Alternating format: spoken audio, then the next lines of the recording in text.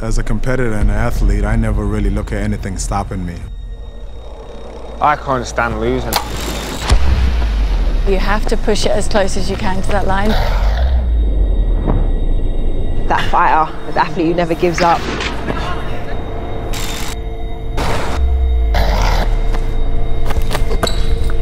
Can't wait to get back out there. More trophies. Simple as that.